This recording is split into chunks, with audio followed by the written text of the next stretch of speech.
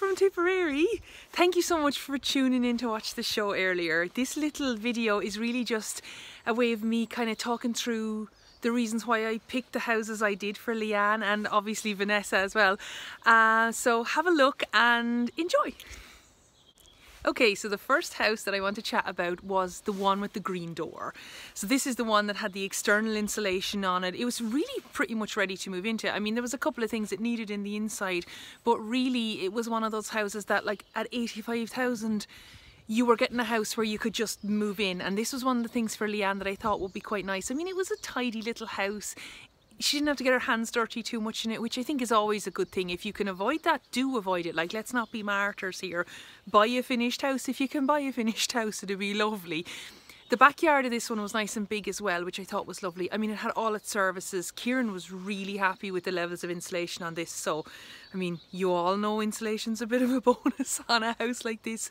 So yeah, I mean, it had a lot going for it. I know when I drove up to it the first time, I drove through Boyle it was only about a 12 minute drive outside Boyle and when you were going over to it it was almost like you were driving through a national park. I mean there was viewing areas looking out over valleys and it was absolutely fantastic looking. So gorgeous area grass growing up the middle of the road outside it really this idyllic country cottage without all of the hard graft that a lot of these country cottages bring.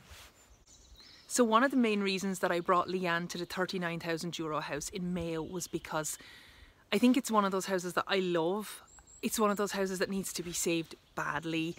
And it's also one of those houses that's not in terrible condition. I mean, the things that I loved about that house were the fact that it had a bathroom, it had running water, it had nearly an acre of land, it had this lovely little driveway down to it with land on the right, and a little bit down the back, it had outbuildings, it had a galvanised roof. Sure, it wasn't the most amazing roof in the world, but it would have got you into it.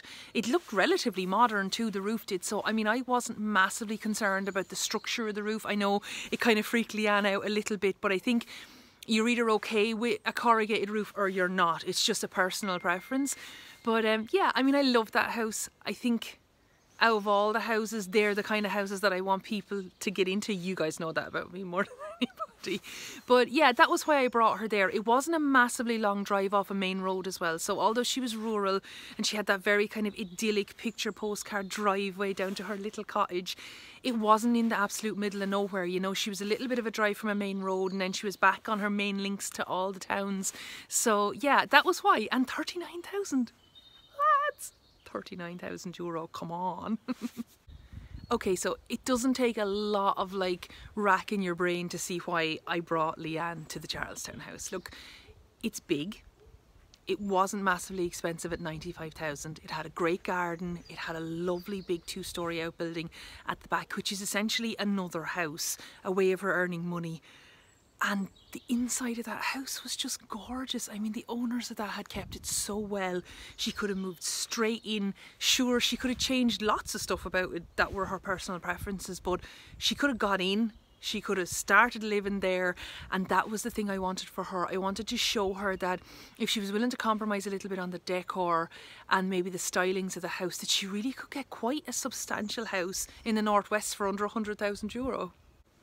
Okay, lads, Key Cottage was one of those houses that you only see like once in a lifetime. The fact that it had been maintained so well by the people that owned it it's just amazing. I mean, that fireplace with the stonework in it, the fact that even I know when I was in the house, it was so warm. It only had single glazing in the windows, it didn't have great insulation on it, but it was cozy. I mean, we were in that sitting room and it was so toasty. And this was early in the day, like when we filmed there. And to think, like, by eight, nine o'clock at night, that place would have been amazing. It would have been so warm and so lovely. And there was a lot of modern touches done to that as well. I mean, like they had the little extension at the back that had the bathroom and the utility room in it. And it was a nice bathroom too, lads gorgeous outbuildings with it, lovely big garden. And I don't know if it was made really obvious from the filming, but the view from the front of that house, looking out over the little fields and the little hills, was just the most amazing thing. I mean, standing there looking at it, it was just magic. And to think, I think it's one of the things that gets lost when you view properties only online. You don't really see the magic of standing in front of a house like that and what it actually has in front of you. Okay, so this could be an absolute no-brainer for some of you guys, but My favourite out of all the houses tonight was 100% the 39,000 euro cottage. I mean, I can see myself there. If I had 39,000 euro in my bank account and I had nothing else to spend it on, I would be there. If that had been for sale when I bought my house, I would be there. It had a bathroom, it had running water, it had power, it had land, it had outbuildings, it had that gorgeous little laneway down to it, which is just the most adorable thing. So like, it was just lovely.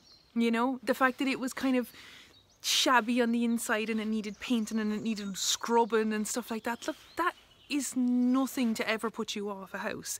I loved it. I think any house under 50,000 euro is worth really sitting back and thinking about, but I really think this one wasn't that far out of left field.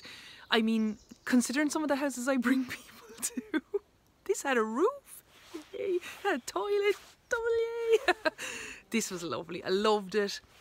I wish you would have been able to see what I saw in it, but I mean, it's not for everybody. And luckily enough, her budget was high enough that look, she doesn't need to compromise on things like that. So, yeah, that was my favourite. So, I'm going to try and get in touch with Kieran, and I'm hoping from where he is down in Cork, he's going to be able to give me his favourite house from tonight. And um, yeah, so stay tuned. Hi, Maggie. Um, so, uh, yeah, thinking about the episode, um, my favourite house would definitely be uh, the Key Cottage. Um, I think it was a, you know, it has a great potential, beautiful old character. I love that fireplace and the shelves and the timber beams and everything. Um, it was so like warm and snug. I think it's got huge potential um, for someone with like a kind of a creative mind and a, and a, and a, and a reasonable budget. So uh, Key Cottage is my favourite house. Take care. So there you have it. Key Cottage for Kieran, the 39,000 euro house for me, and two other really, really strong contenders for Leanne. So which one was your favourite? I'd love to hear it, so put it in the comments below and I'll have a read through them as soon as I can. So I'm going to try and do one of these next week as well. Thank you all for tuning in and extra thank you for watching the show and for all the PR you have all done for me leading up to this this week. Um, yeah, so from myself and Kieran, until next week, bye!